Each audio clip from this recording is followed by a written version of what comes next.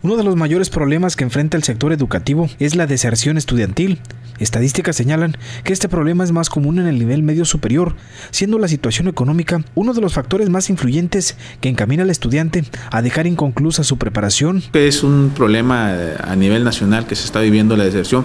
Nosotros hemos estado eh, trabajando con estrategias para poder atender eh, ese ese problema que tenemos a nivel nacional y estatal.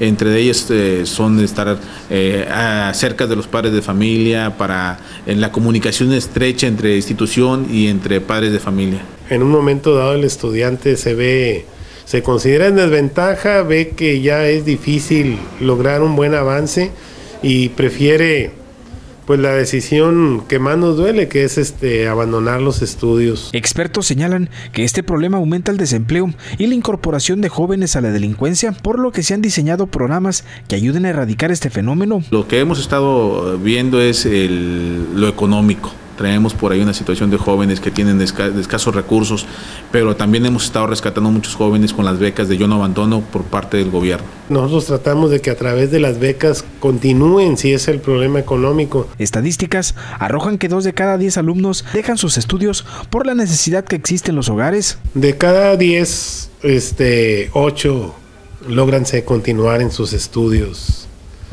Que pudiera ser eh, aceptable en una en una situación piramidal donde pues obviamente eh, no todos tienen la misma capacidad, ni los mismos recursos, ni las mismas oportunidades, ni las mismas circunstancias. Este problema es más frecuente en las zonas rurales, donde la distancia y la falta del transporte a las escuelas dificulta al joven acudir a su preparación académica. Ahí se agrega una, una circunstancia más el que es el traslado del, del, hogar a la escuela. Aunque señalan estar dentro del margen del 15% establecido para la deserción, se siguen incrementando los recursos y programas de becas para erradicar este problema y que el nivel educativo nacional sea por encima del medio superior.